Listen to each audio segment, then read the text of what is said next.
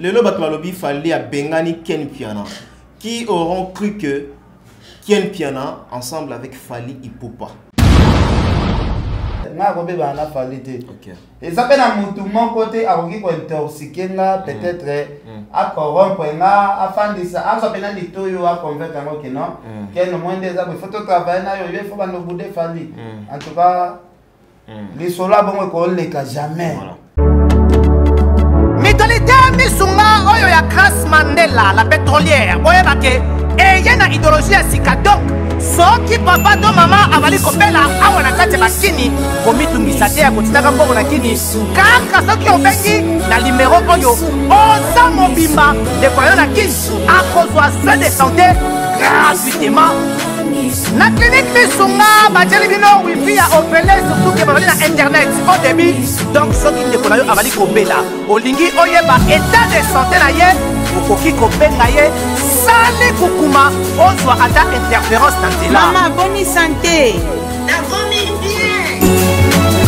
soki ndeko na yo azwi okazio ya kozwa baswai na mitorite misunga yebake kuna na ntongo oza mobimba na petit dejeuner mpe na pokwa yebake badive ezali mpe na pointe mpo okolia okondima te ke ozali na hopital bazali na basale ya opération sans oublier teste oculaire donc oza mobimba na mitole misunga ekosalaki misu na yo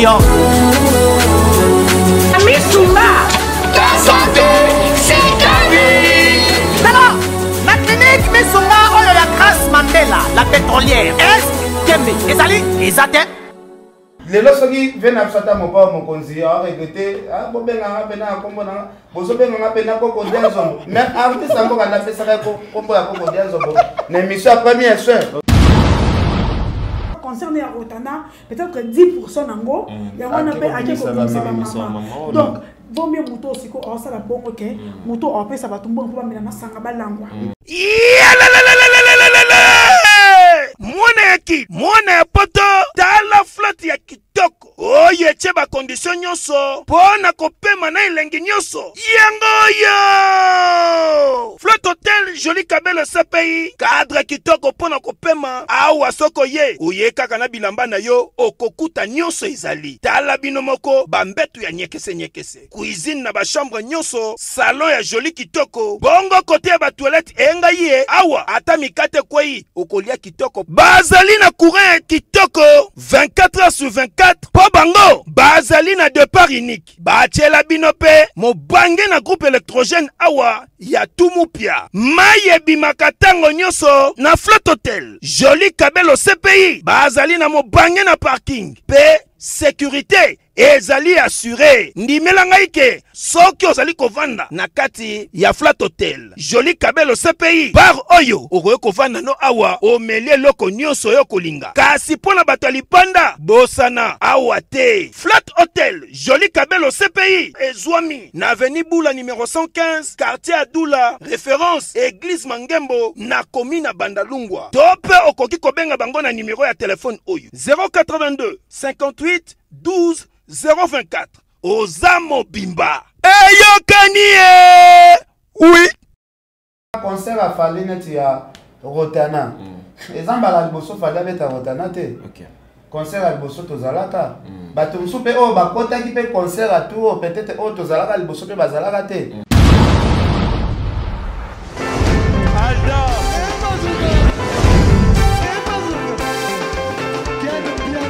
Papson Makundi, omoni ken piana aye yo ndoya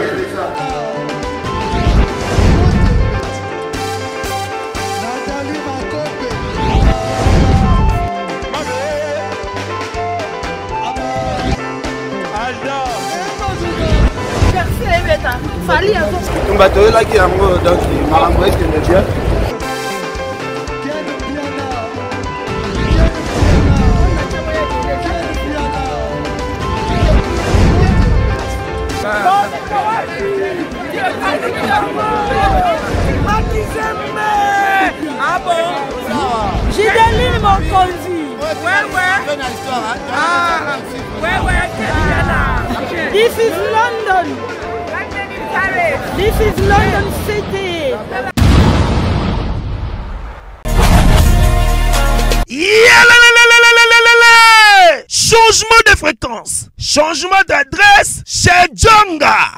bolelaki tro o oh, esika ya bino moko ezali te boyeba ke jong azwili bino solution azwi esika ya ye moko oyo akofandisa ideologie esika oyo bakongole tu bakobanda koya kokutana na ndenge ya defwa te she jonga de she jonga de awa bokokuta biloko nyonso bolingaka ya kotumba lokola ntaba ya kitoko mpe elengi, soso ya kotumba, ngulu ya kotumba, pwaso ya kotumba. Esengeli koyeba ke chez Jonga de bafongolaka kobanda mokolo ya mardi ti dimanche. Awa nde esika ambiance ezali kolala, adresse eza kaka se moko chez Jonga de. Weekend boza deja ya kosepela mpo awa ambiance elalaka awa na ndenge ya defwa te. Chaque vendredi bobanda kozwa suzuki luzubu 4x4 ye nde moto akosepelisa bino na ndenge ya kosakana te oza kolia oza komela oza kobina mpe chaque samedi ekobanda kozala nde cnn alligator na baartiste mosusu bakobanda kosepelisa bino na makinu ya defwa te na bakunga ya kosakana te epuis chaque dimanche sombele suka ya bisanga nde bokozwa le grand chanteur emeli alias de mingongo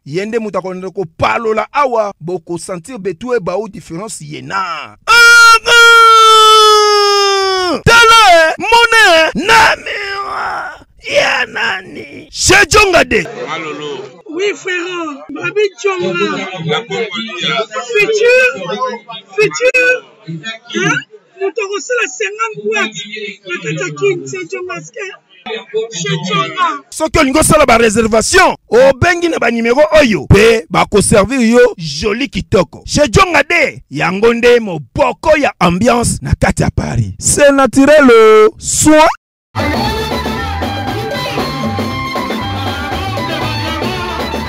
Très heureux de vous savoir si nombreux, euh, mesdames et messieurs, vous qui êtes euh, branchés sur nos antennes www.africa Elengi TV, aujourd'hui une émission spéciale. Quand je dis spéciale, Toroyeba vraiment, Mambo Ezoleka vraiment na Katia Kinshasa, Lelo Noyamba, vraiment banani, Lelo ba, ba, ba tête d'affiche, hein, Oboyebaka, pe Boyebi, Lelo Toyambi Bango, na makambo ezoleka na réseaux sociaux na makambo ezoleka na internet mais nazanga moko te euh, toza na musicien oyo auti londres na nkombo ya étoile Etoile lelo toko découvrir ye na nazo manager na kati ya République démocratique du Congo.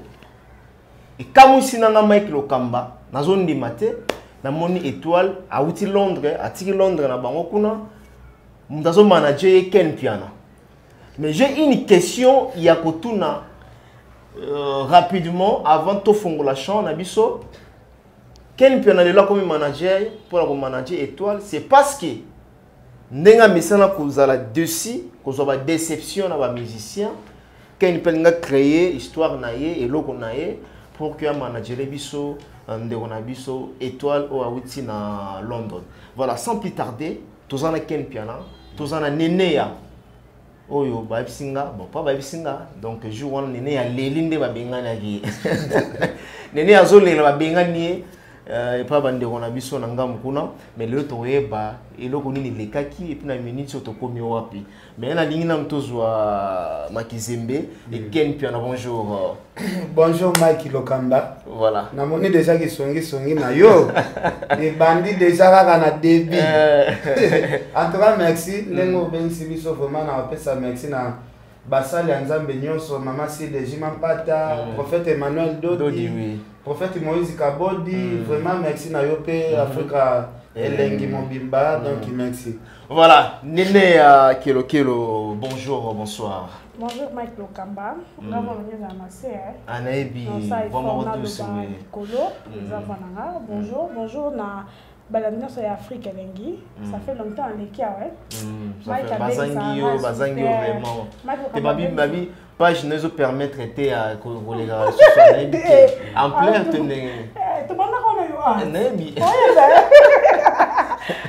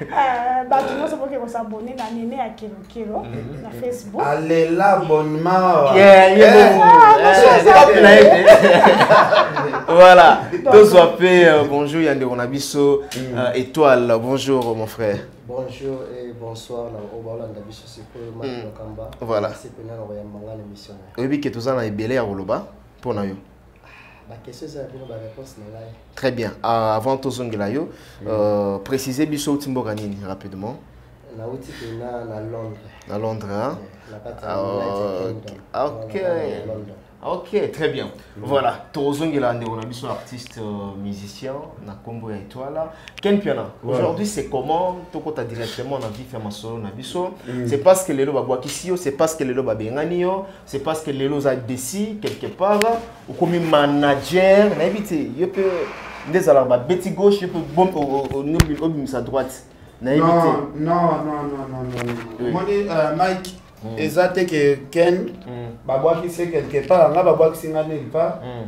mpo bato mosusu bayoka basala confusion neti ken babwakisi ye pa fali tusa nga fali akobwakisa nga te parce que de un nga nakobwakisa mpe fali te parce que touti mosika toya na makambo mosusu oyo lelo nga soki nakobebana na motu nyonso me na fali nakobebana na ye te mm. mpo basouvenir ya makasi eza trop okay. donc soki otuni question par rapport ya manager ndeko na ngai étoile mm. omoni lelo ndeko na ngai étoile aza artiste musicien moko ya monene na kati ya angleterre mm. mais euh, bajournaliste na biso ya angleterre bayebi nde kosala marketing ya baartiste na bango te parce que kotala basoire nyonso tu ya minene hmm. oyo ezalaka organise na kati ya londres ye pena azalaka pena invité ya basoire nyonso tu ya minene moni nga naza pire petit ya dj numero 1 ya londres hmm. richard amelin dj oyo babengisaka na bamanifestation nyonso tu hmm. soki richard amelin ayebisi yo ke mutu tel nde aza na succès na mboka oyo mm. seke eza bon parce que na londre moto aleki richard amelin aza te okay. richard amelin atonga bapale ya danger na kinshasa oyo na mosala nde kaka ya kididie mm. donc pourquoi seulement les choix rapidement mm. les choix ya kopona ndeko na biso étoile c'est parce que mm. dj amelin dj amelin non richard amelin ebisanga alobi non ken eza na garçon moko boye atindelaka nga mpe bavideo na ye mm. Parce que ye pena asalaka ba soirée mo boye oyo pena omona ba ba 20 000 personnes ba 15 000 personnes oyo oh, bandeko na biso ba artiste musicien mosusu balongaka awa na baorchestre bake na baabidjan basala ye tonda te bazwa anile na baconcert mais ye na angleterre asalaka basali ya na ba plein plein donc talaka ndenge aza wana déjà heure bastar africain oyo bautaka na bacommunauté anglophone mm. baka kobeta na angleterre le seul artiste oyo ya communauté francophone oyo atielaka bango libaya mm. eza ndeko na biso étoile donc aza garçon moko boye mm. peut-être eh, msu yo ozo comprendre te ofandi na motu ya monene na kati ya plateau mais msu ah yo ozo comprendre te mais après émission mike lokamba okofuye na internet namoni mpona na manager ya solo oyebi koteka produit na yo mais aza produit moko boye ya makasi mm. kutu ya kozala na baniveau peut-être ya baplateau na biso boye te mais bayebisaki na biso okende koleka te nazongisa yo ifo okende koleka te nazongisa bakongole tolinga ya verité te ozoloba makambo oyo eza ya solo me bakongole balingi eza neti maître gims azalekaka nde na bachaine international tout mm. mais bayebisa babi fo olekaka mpe na bamiko ya bato ba youtube mm. yango omonaka maître gims era mwa abekisaka nolitano mm. yango omoni ye mpe bayebi se balobi olekaka no na bachaine ya minena bamindele mhm. balanda ko bazwa baevenema me mhm. ozwaka mpa mike nayebisi yo mhm. omoni heure émission ekokota en ligne ozwa mpe na baretombe bana londre baobengo ebele baoyebi so ah mike lokamba garçon na bozwi ye wapi parce que omonaka ba normal ke toyambi na biso artiste auti londre mais baretombe ya artiste eh, omona ndenge telefone nde okozala dérange parce que ye ayebani kaka na communauté congolaise te mm. ayebani na bacommunauté ebele okay. surtout ba surtout bango moko nao baanglais voilà. balela ye nao makasi ya bablage voilà baanglais balela ye makasi kaka ndenge olobi mais na biso a vraiment ifo ateka image ekosala biso bien surtout ke aza na, na motu moko bien pembeni na yo mm. na je pense que bien que oteka ye mm. euh, votre impression lelo ken piana akomi mm. manager ngai nakanisaki euh, lelo akomi manager parce que babengani ye bon ndenge ezobimabima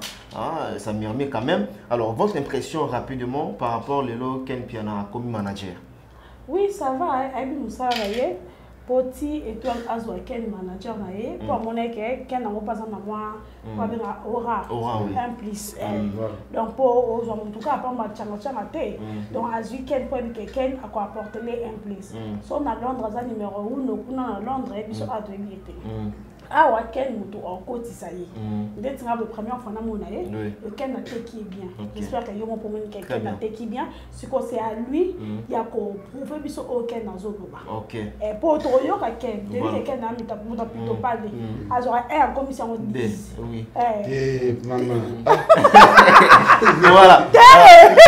donc etoile ya koprouve biso awa po maki okamba fosenga ye toyoka voix mpo biso awa na congo nyonso ekontaka loketo ekontaka voi ekontaka omoni sikoyo mabe na bino bacongolais eza mm. nini mm. soki boyambi inonsa bokimaka koyembisa ye banzembo mm. etwale ya koyemba etwale azala lese etwale ya koyemba na ye nayebi te leo ozoloba soki oyambi inonsa mpo nga so nayambi catégorie nyonso tu na osenga na musicien wana namona arabe olobisaka kaka tro bayemba te eloko te soki bopesi esala ata eloko ya papa wemba kokima mm. boyebisi donc toyambaka baartiste mm. oyembisi mpe moke esalaka kaka bien très bien avant tozonga na baactualité mosusu eza mpe makasi mm. euh, topesa nano micro na étoile okay. à s'exprimer quand même étoile mm. en tout cas euh, bakumisi yo vraiment makasi mm. bakumisi yo makasi nanga moko natikali euh, monoko polele alors qui est étoile étoile aza musicien mpe naza écrivain okay. bon ebele mpe na, na composaka okay. voilà sikoyo oza artiste euh, chanteur non oui oui oza na domaine nini osalaka miziki nini naza polyvalent nasalaka miziki rap okay. rumba na biso mpo okay. yango nde ya liboso okay. reggae mm. donc nabetaka ebele na makambo okeni nazoloba awa oza danger na mboka na bino eh, na londres kutibana eh, bato bazolanda yofoto bazokanga na ye bamindele ya bamindele bazosenga yo bafoto nayebi te azolobela yango na kipito pale ou bien c'est sérieux ça tuna okoyeba oyo eza etwale oza na ye awa tuna okoyeba oyo mpo eza nango mposa so mpete tosanza tokosanza na biso tobanga eloko te tobanga nde courant so okangami donc retard ya mbila ata mosusu bien nani odaea mm. yeah. voilà parce que euh, télévision eza radio te omoni bato baotala biso ya surtout que afrique elengi tv millier de personnes oyo baotala biso euh, balobi musicien tokangi ye na kikoso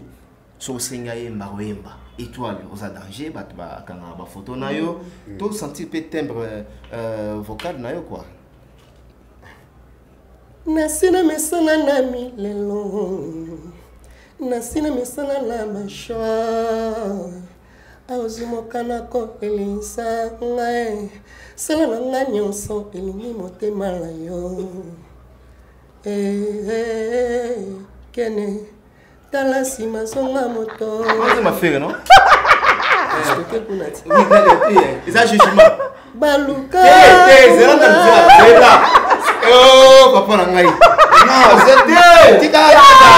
tika libre tika artiste na ozala libre papa okokati biso na sentiment s'il vous plaît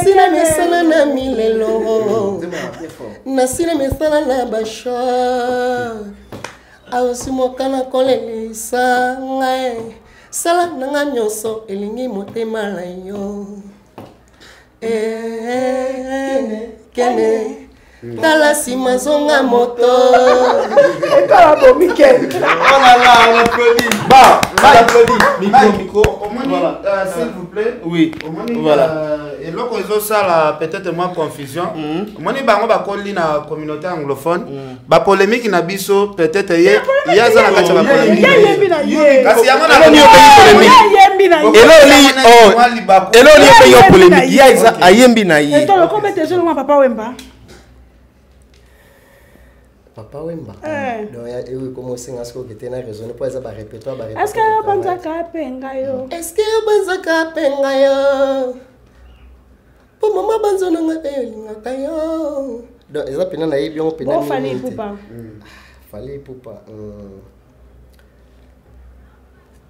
so na beti oyo na betaki wana ezalaka ba repetition kua bon neti nini te betaka obetaki yo ate somela ngai pesa ngai kabela ngai kopimela ngai te kopimela ngai te pardon kopimela ngai te kopimela ngai te bolingo mpo moto aliboma asombaka elamba te mekazasangaka te kopata ya madofolo latisanga ata bolingo madofolo ate komonisa nzoto mekaza kaka na molongo ya bato balati godoma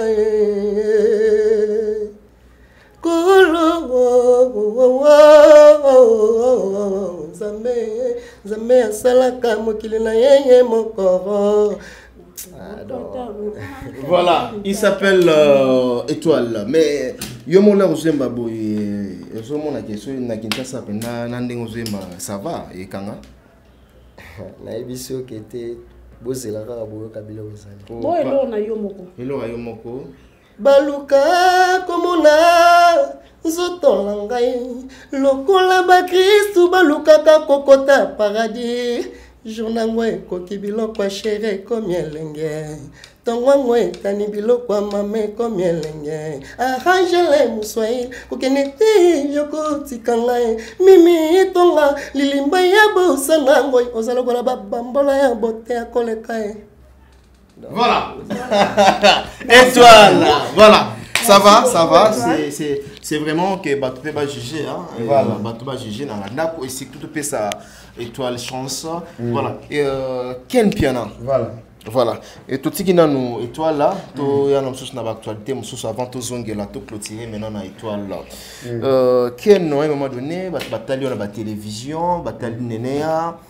comment est-ce que badire na bino et surtout euh, l'air nene ya ngai azotala ye naosimba kutu telekoma nakanga frein mpo nayebi ye azalaka trop direct euh, mm. voilà et puis prière na ngai ekokisamaki namoni azali na bareserve que jour babenganaki yo namonaki nene ya pene azalaki très fâché naloba nene ozokamaka mani bola ozoloba yo to yanda olobaki edi ya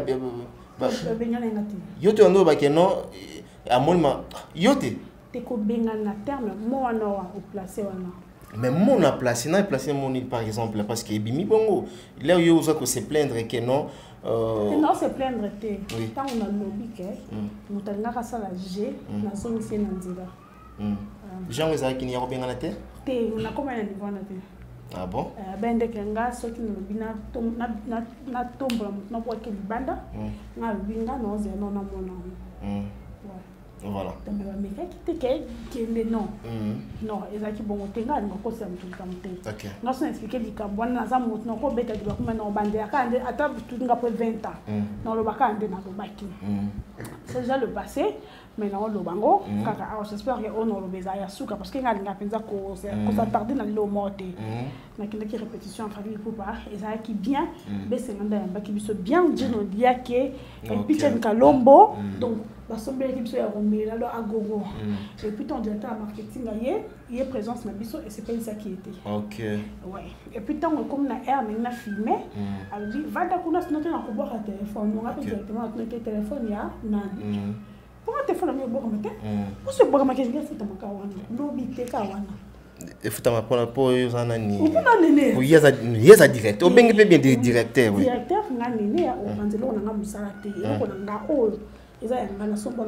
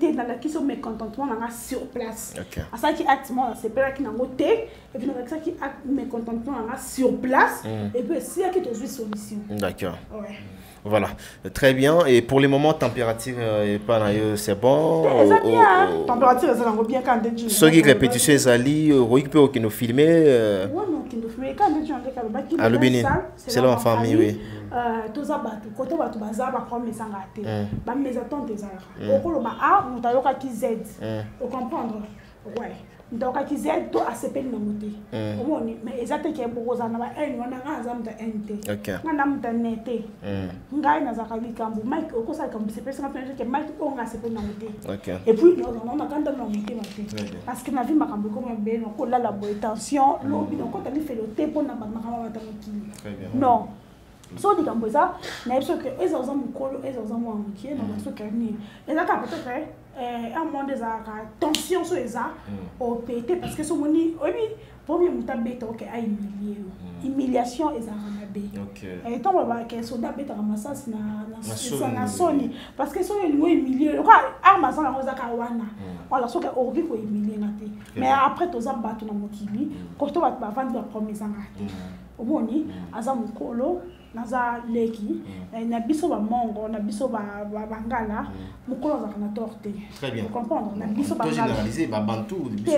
nayebi te nabana pa biso hmm. ata yo yando wa moto asali to mabe afingaki yo meka yo moto oya vers ye pa biso biso makolisa biso bompaa pa biso ata ndenge eza boye ya naopa moto asali azwi eloko no apanzi mais foka yo moto obande mbote weye toza bato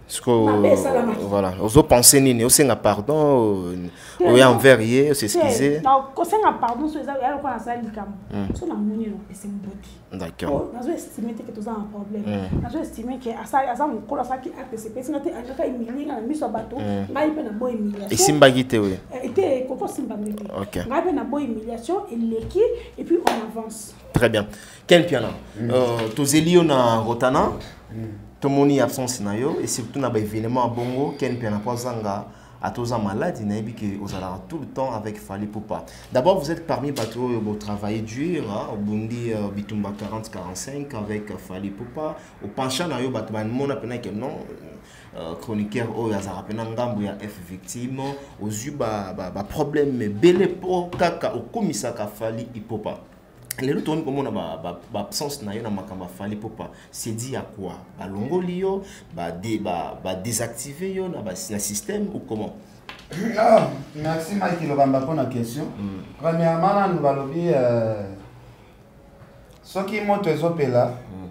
baboma yango na mai mm. moto baboma yango na essence te moni deja mwa banungunungu moko ezalaki na kati ya famille nga nakoki oya jamais na, na, nakoya jamais kopelisa esu moto parce que mwa climat ezalaki mwa bien te mm. nga deja concert afali neti ya rotana mm. eza mbala liboso fali abeta rotana te okay. concert ya liboso tozalaka mm. bato mosusu mpe oyo bakotaki mpe concert ya tour peut-être oyo tozalaka liboso mpe bazalaka te mm. ya liboso biso tozalaka na bajazz kavulu bato ebele ya tour oyo mpe tomoni ba france temai baye ba neneya baye mm. bilongi ya sika mosusu mpe ye ba demeure baye mm. donc ezalaki na sens te ke bokabwani soki nde nini non non non non mm. ngai aloba yango naloba yango claire ngai akobebana na fali te eza mpe na motu moko te akoki kointorsike nga peut-être acorrompre nga afandisa azwa mpe na litoyo aconvaincre yango ke non keno moi nde eza boye fo totravaille nayo yo ifo banobude fali en tout cas hmm. lisolo abongo ekoleka jamais epa mutu neti nga ken toyebi ke ezaka bambongi eyaka nango me makambo wana nyonso tu hmm. esi eleki nango hmm. lepreuve ane lelo zela ava toya na mama lelo fo bayeba non avant nde tolobi ke bokomi déjà moto qu'est ce qui s'est passé réellement euh, na makambo ekomeli bino eloko nini toleka bon makambo oyo euti oleka eza kaka makambo moko boye bayebisaki nga balobi fo nasotaka masolo wana mpo ya na orapele rapele masolo wana mm. esala mpe bien te ozo kompa lokamba bato mosusu bakomona kaka baken mm. na directeur ya mouvement mm. bazoyokana te en tout cas partir ya lelo nga nga naloba kaka soki tozalaka na mwa problème moko boye na grand frère na biso wana soki nga de ma part nazalaka na problème na ye mm. nga naloba alimbisa nga nga aza petit na ye ah, nga akosala guerre na ye te ye aza yaya soki ye mpe mm.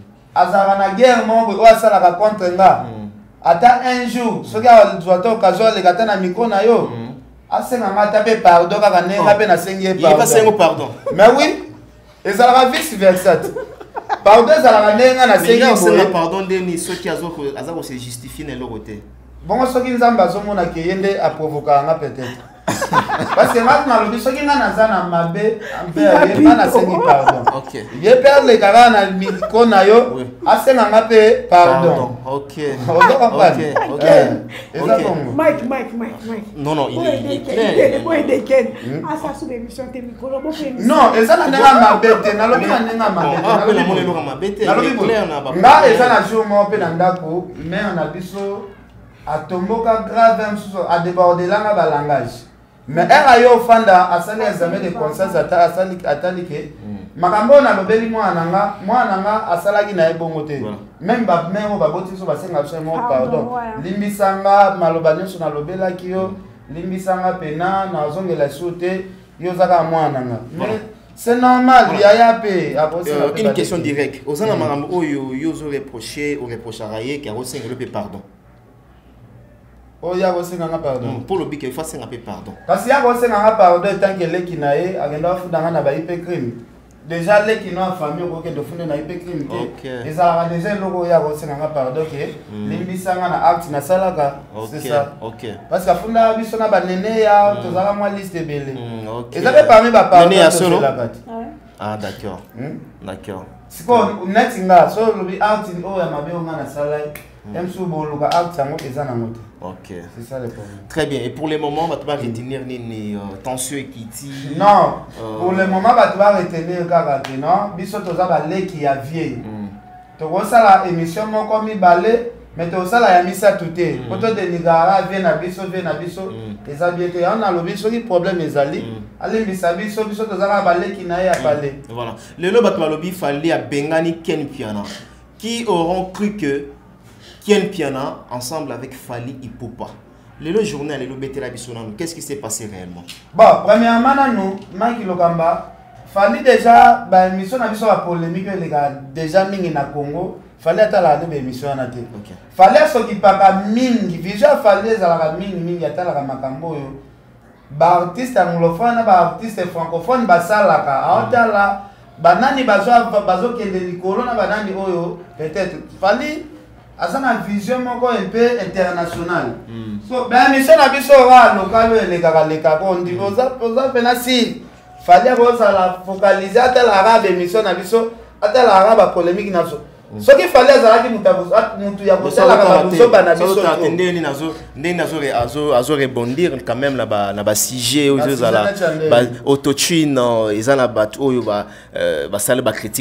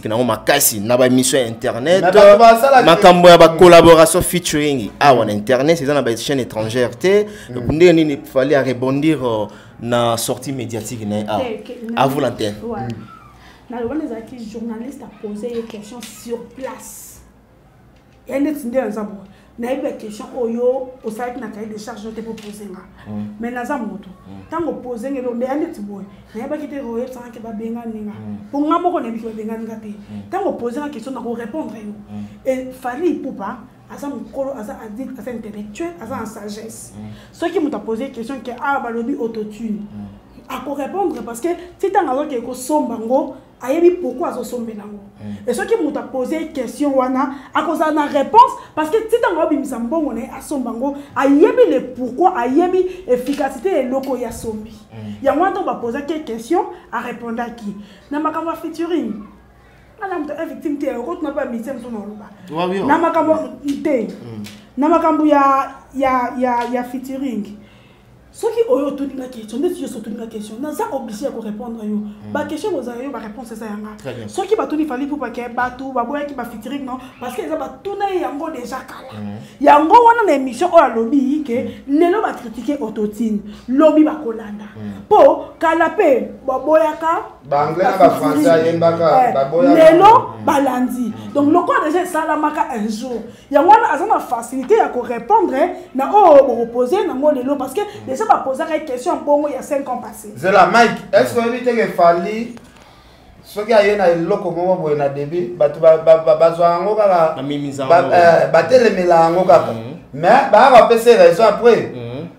ndeko na biso artistendeko na biso artiste mboka na premier soin oyo karine mokonzi ayambaka te nabi tokende tokende na émission oyo karine ayambaka artiste mboka artiste mboka mm. lelo soki ve na biso ata mopao mokonzi aregrete ah, bobenganga mpena akombo nanga bozobenga nga mpe na koko dianzombo mais artiste yango banda apesaka kombo ya koko dianzombo na émission ya premier soin émission ya premier soin wana babeta masolo babi est ce que biso nde totindaki ayemba na baanglais na bafrançais hmm. biso toza na système ya baimanien hmm. biso tosombaka joueur ya libanda te ndenge ye azosala saka bafitiri na bato ya libanda tout ça hmm. artiste ya mboka azalaki artiste moko aza na artiste moko boye vision eza mokuse makasi ana vision moko te oyo ya motu azotala makambo likolo mm. ozokompa donc lelo oyo nyonso tu fali azoloba bamakelele ana nyonso tu bazotya obike meme instrument oyo bazoboya ya autotine yana mm. obike na artiste ya mboka asalelaka yango depuis kala ayebi na ye teke nde eza yango parce que savoir na ye eza mokuse nga sikoyo nakende na banini te nde bino boke bakode wana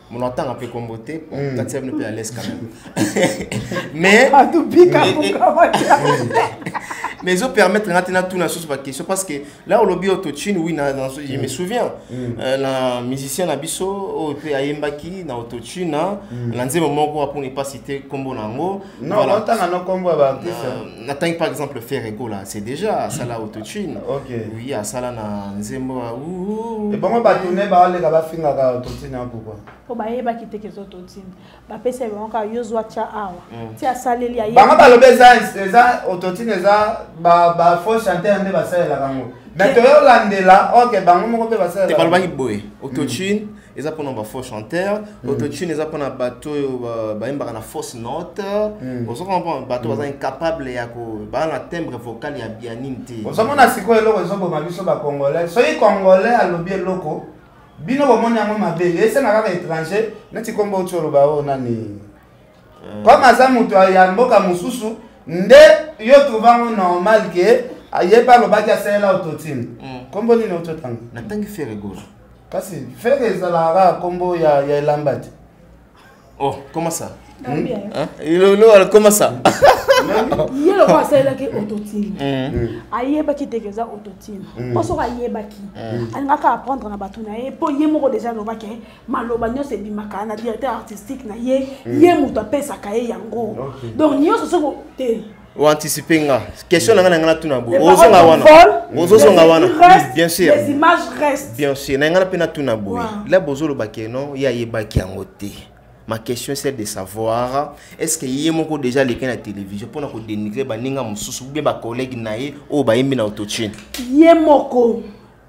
les paroles s'envolent les écrits restent les images restent aleka na tv na chaîne ya tracy mbelenga na première chaîne aloba nyonso oyo oh, directeur artistique nalobaka ye moto apesaka ye yango sikoyo lokola directeur artistique ayebaki te mm. seke ye moko ti ntango ayembela yango mm. ayeba te ke eloko azoyembela nkombo nango ototini ok ok kende okobakisa nini ouais ngai loo nakobakisa eza kaka omoni toza bato mm. chaque moto aa bavision na ye mm. totikaka kolandela vision ya moninganon eh bamisioaza vision te te ah. koloba bongo te ya de musicien oyo aza nde na vision te mm. azalaka na mokongo azoyemba na esika okenda oyeba te eloko mpe azosala azoyeba te mais aza kaka Hmm. aza na vision te parce que soomwanati nde toaozi nati étoile ndenge aza na étoile aza artiste musicien jamais akoboya instrument moko oyo esungaka baartiste hmm. mais oui okotuna ye ototini mpena yo artiste bato no baleka mpe bazo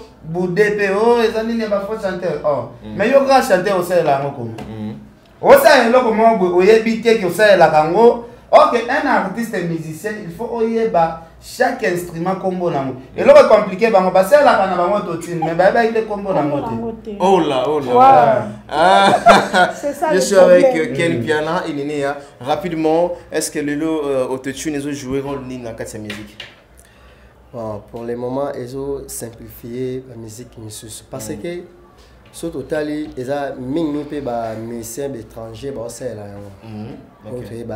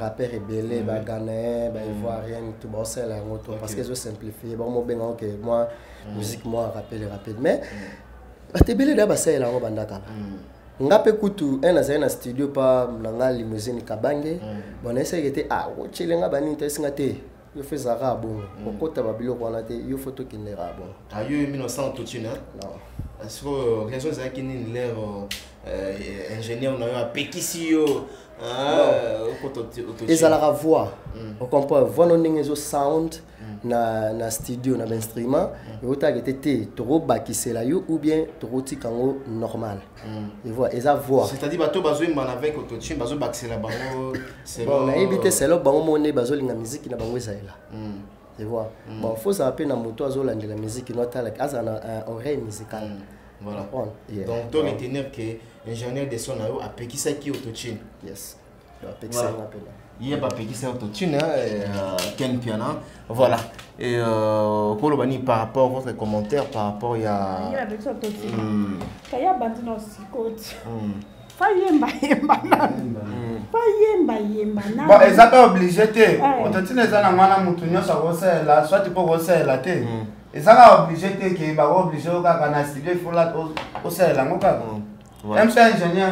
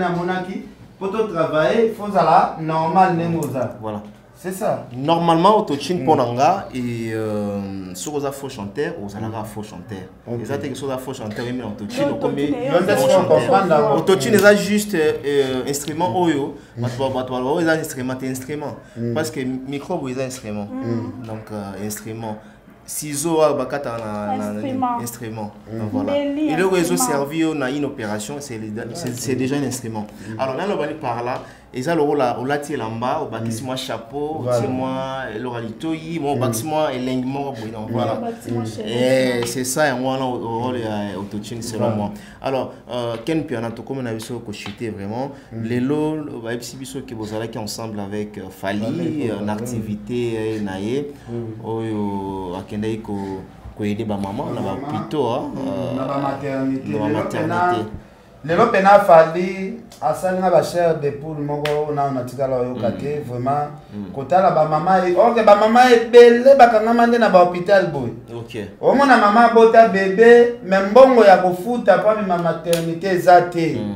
mike lokambo esali nga par sifali abimisi lelo plus de 200 et quelques mama ah bon ozalaki wana oui baimage eza nde toloba oh. bazwi baoyelisa yango nazalaki Oza na ndambo ya image. natindelo nati- na- na- napesi yo baimage nayebisi yo fali alelisi ngai ok pere otala mpena te okende hôpital tel fali asengi kaka bopesa nga nombre ya bamama oyo bawuti obota sikoyo na bamama nyonso bakangama boyela nga liste ya bamama nyonso Mhm. pere kasi bato baloba afali akabaka te eya na bamama mosusu omona mpena ke akangama na bambongo ekoma ata ba 200 ba 300 mais azwi bakana nyonso tu aresoudre bakana nyonso omona mama mosusu abongami te akangi mwana ntuka falime tala degre bamama bazolela na action sociale oyo fali asali en tout cas nzambe oyo ya bolingo aotika fali te parce que koraisonne bamama omoni ah, te en tout cas totamboli trop totamboli trop totamboli totamboli juste na commune ya bandalungwa tokendaki mpe na bamakitambo do totamboli tamboli fort voilà action sociale oyo fali popa en tout cas kosala votre impression par rapport à ça tomona yango mpe na bamise ebele te surtoukokende na maternité kopense na bamaman parce que wana eza mpena ke non mm. balakisi biso Mm. qui est kozonga nsima koluka vraiment euh, bénédiction oui, oui, oui. Hein? Mm. eza koluka bénédiction omoni wana eza bamerci mo sincère moto ayebaki te moto mosusu aza déjà désespéré mpo mm. nde toza wemaki biso tomona ata 10 dollar 20 dollar bato mosusu akozala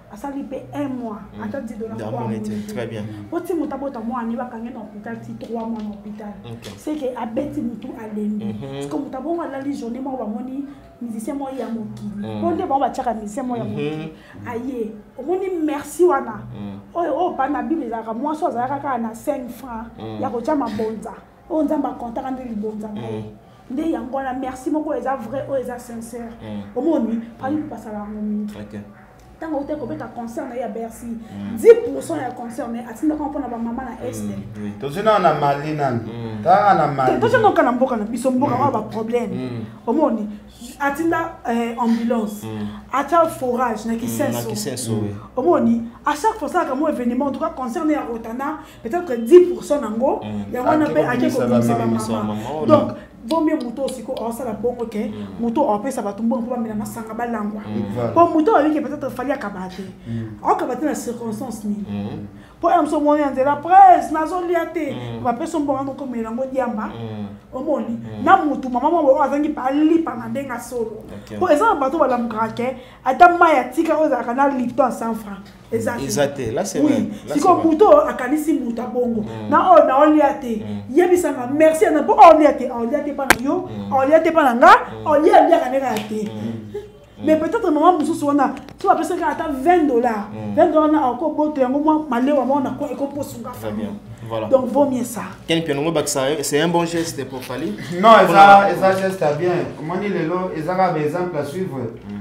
oyo fali azosala lobi mpe ya mosusu nzambe akosunga biso tolandaka baexemple wana surtout euh, kokotaka mingi na bahopital parce que bahopital eza na baproblème ebele en plus fali azaka limité te parce que sebeko balobi oza le seul artiste oyo oyaka plusieurs fois mm. mais kotala fali mpe ndenge aza nakenda mpe na bafondation place baorphelin bafandaka na eh, baorphelin na biso akenda kotika mpe babiloko donc mm. soki obotama okabaka obanda okaba kaka soki obotama mpe okabaka te obanda kaka okaba te mais eza na bato mosusu omonaka moto atuta tolo ah, nga asombela bato bamituka nga nasala boye nga nasala boye me bokendaka kovisite baorphelin wana te oyo basufaka ntongo midi pokwa bamama ebele bakangami na bahopital peut-être bana wana oyo bakangami wana mm. msu bapresident de la république baza na kati baministre bazali makambo ebele ebele donc exemple oyo fali azopesa tosala bapolémique ata ya baaction sociale ti ke fali aye abimisi bamama nyonso ya hôpital oyo akendaki artiste mosusu mpe akesu mama yemo asali yango artiste mosusu mpe abi tika na prouve aluki mpe hôpital na ye omona ke mwa baproblème ekodiminue mwa moke lelo baartiste musicien na biso polémique ekoma na baboite okay.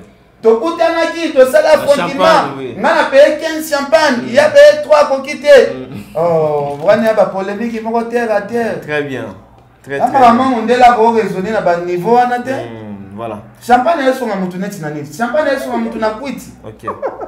voilà. na mama moko bwakanga mai na hôpital hôpital ekoma neti kasho na ye fale aye apesi mbongo mama wana abimi oyebi combien de jour abandolota fali na mutu na ye na ndenge ya solo mhm. oyebi souvenir nini oyo famille wana baotikala nango nde nini okenda na ndenge ya solo te zela zela zela zela kolango esila papa mama zela zela mike nde eza boye fali abimisi plus de 200 mama oyo bazali na babebe oyebi ke bana wana nyonso histoire ekoti na kati ya bafamille nyonso ya bana wana ke mwana nyonso ere akola bayebise nini mhm. omoni yo ere obotamaka moto afutaka maternité na yo ezalaka artiste musicien moko ya monene ya mboka ofali mhm. mwana wana ti akokola akoma mokolo bisika wana akobosana te akoyebisa na bana na ye ke non nga mama na biso abetelanga lisolo ere babotanga fali mpo bayaka kofuta mbongo ya maternité na nga mpona eza eza ba histoire moko boye oyo ekotikala de génération en génération hein? voilà Très bien. Très bien, merci euh, Nancy Tosis Nabiso. Merci Nabiso. Nazongela vite fait na musicien Nabiso étoile étoile avant na na ozo penser ni na musique euh, congolaise. Euh, d'abord, euh, votre choix ya baartiste et musicien entre Fally Poupa et Ferre Gola. Eza choix okoyoka batembe wana boye nga modo nayebi place ozokende. So choix na yo, euh, musicien préféré na yo eza wana. Na question répondre nga bango nyonso tu baza ba collègue mpe bandeko nango ignore motu moko te eza ignorance te abi motu tu motu tu azalaka na préférence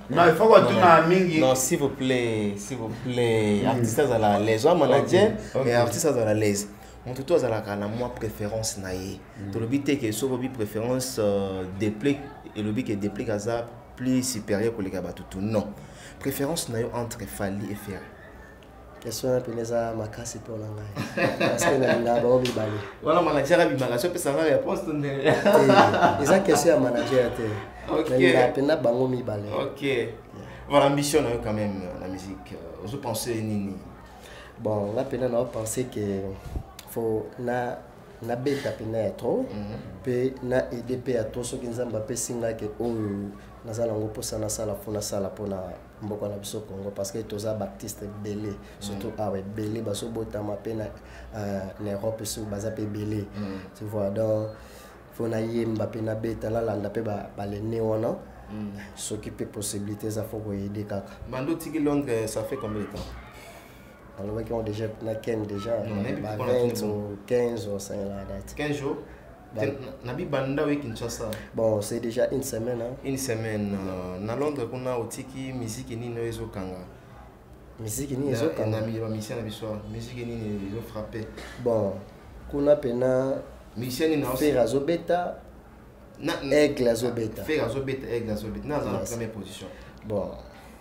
toke kaka tout droit c'est aigle azobeta parce que so un mot mpo oleki na baclub ndenge ezalaka toyoki mpe aigle tu vois bazobeta merci euh, manager euh, bacontact tout tozwa pa ya ken piano avant opesa bareme oza mpe na bavrai vrai ye apesaka bambote rapidement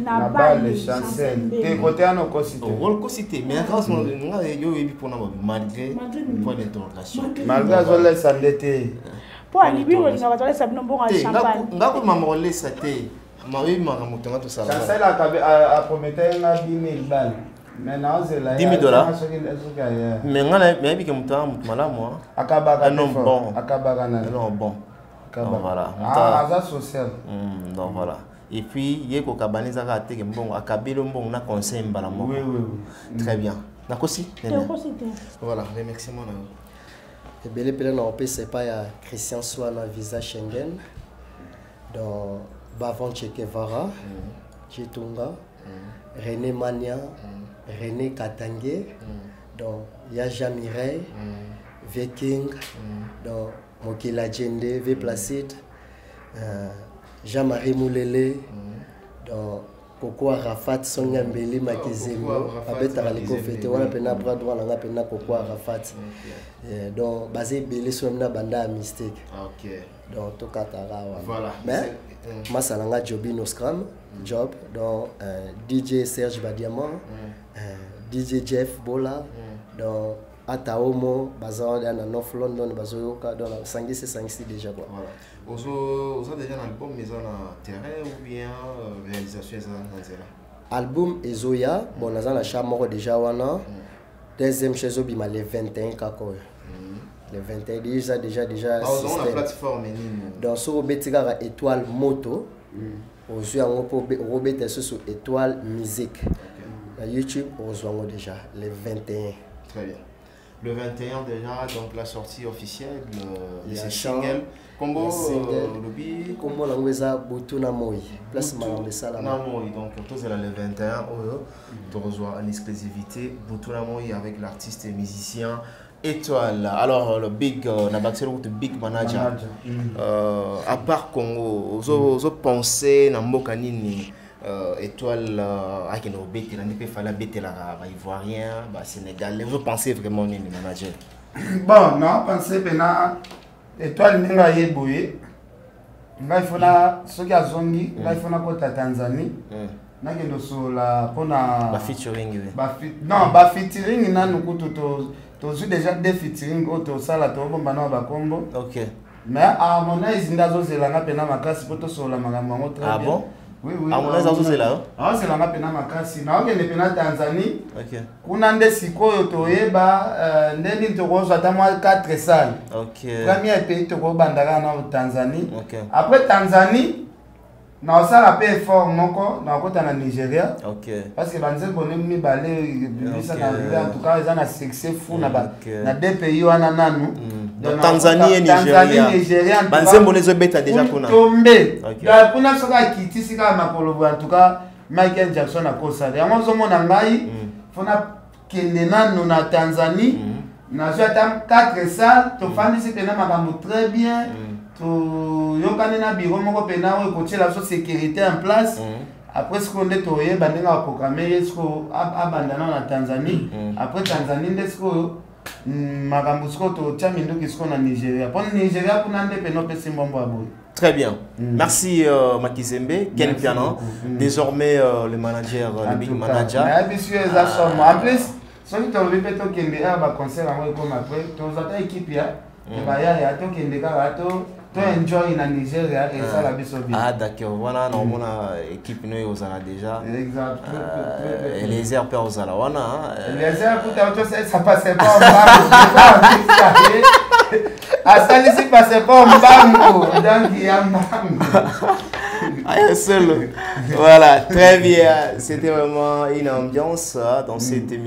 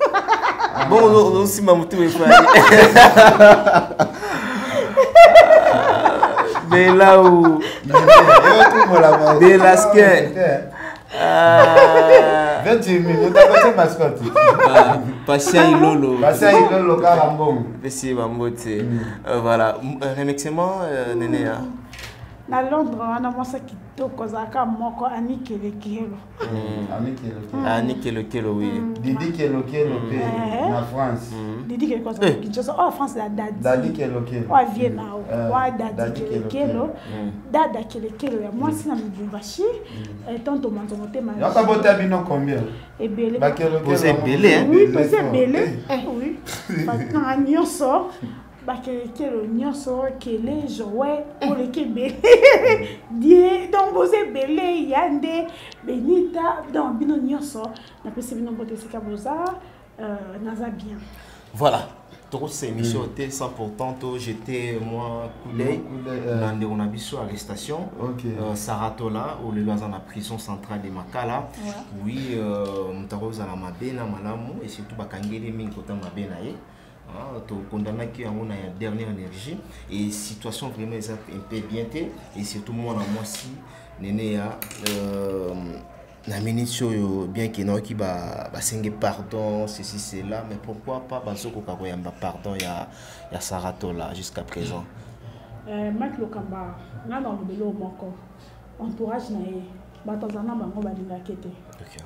right. baoniokola yo mm. parce que nga so nasengi yo pardon nga nini akelekelo mm. page oyo mm. oyebi keza yanga mm. ekela page mm. po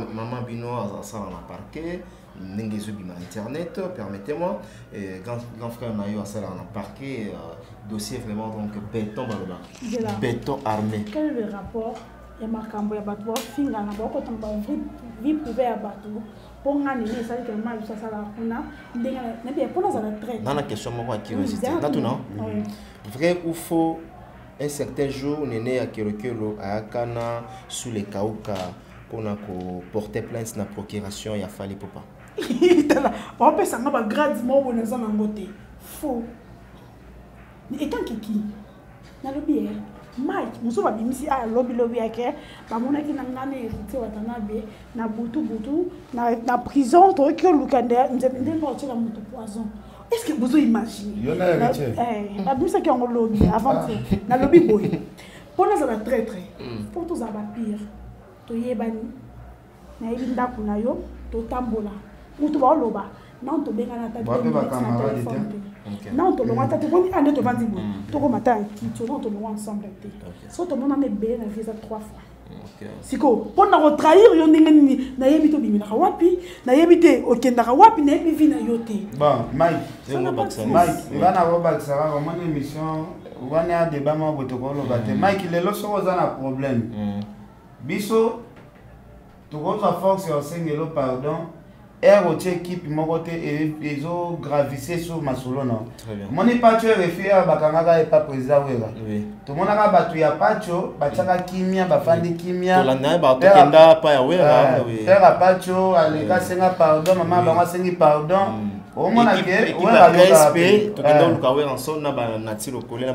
sikoyo ndeko na biso kiteti nde ezoboma ye parce que oyo bato na ye baosala en plus ere basengaka mpe pardon ozwi mpe na chaine na oefase ata bavideo oyo ofinga motu ti mm.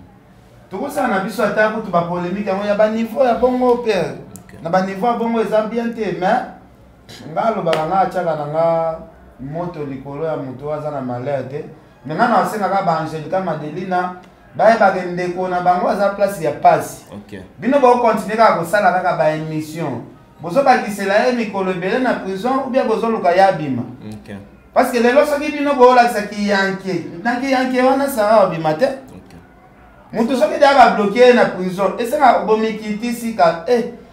papa yo osenga pardon bino kuna bosala bemission ya contredire mm. pardon ya papa ya motu mm. mais nayoki baavocat na ye quand même baodeplore eh, euh, bazodéplore injustice mm. quand même hein, na part na ye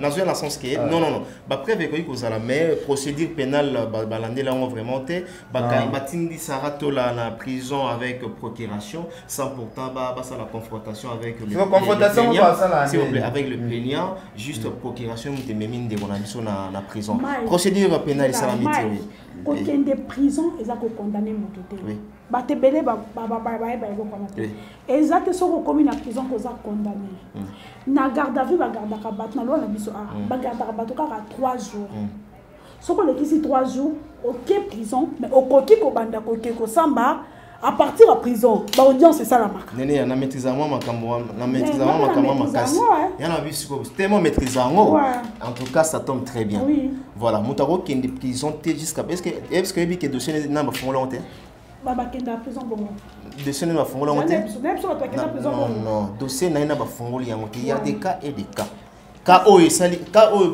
bakobenda dossier na tribunal eza baka oyo baza na recherche bazoluka bainvestigation ya kosala eza na baka lokola ya baviol ya basisi cela ya baassociation de malfaiteurs par exemple na ka oyo motu direct afundi motu aza mpe na kinshasa par exemple mm. tozo exemple ya moke oui Na parquet basalaka combien de jours Tika na otokende. Ezela parquet basalaka combien de jours Parquet déjà 4 jours. Non. 3. 3 jours. Oui. Alekisaki 3 jours te. Siko 4e jour place nini oyo efalaki babomba ye soki olekisi 3 jours dossier no ezwi solution te bato ekombona na prison après osamba après c'est comme ça eza te ke yo eza te ke yo bamemi ezalaka bongo soki bajour na yo ya parti ekoki il faut kende nao na makala eza sue na biso ou eza esengo te parce que oyo ngai alobaki yango epesa biso nyonso mayele oyo ekomeli ye ekoki okomela ngai ah lolobi ah ah nakoki kosepela nango te omoni na makambo mosusu oyo ezalaka ekomeli moninga mm. epesa biso nyonso mayele mm. ke omoni nga ba vie privée ya bato ba mike nga moni nga nga kenda nga te zela oyo eza déjà sujet nga na moni nga te na fanda zela tu sis na biso ba vie privée ya bato ezalaka mabe mike mm. nakoki kotouche yo mm. mais nakoki jamais kokoma na baparent non parce que nga na yo mm. nde moto toomona toyosala peut-être mike omoni omoni tootrouva ngo normal po mosusu ozo mitia na place ya mama na biso nana te soki nana okay. ketchup azalaki ya biso sere na yo propre abala star ya monene neti fali mm. ke bemission ya bongo ezosalema na nkombo na ye mm. maki toya mpe bato toyebi ke tokosenga na so sara tola pardon tanke asalaka mosala moko na biso mais tozala mpe conscient ke ndeko na biso adebordaki mpe na makambo ebele okay. tokoyana te toloba kaka president kolimbise te boye boye non kote wana tokokota te mais tozala conscient ke ndeko na biso amarchaki mabe tomituna baquestion te ke o ake makala ndeni soni makambo asalaki emerite ye kaka punition nanu mwa makala c'est ça très bien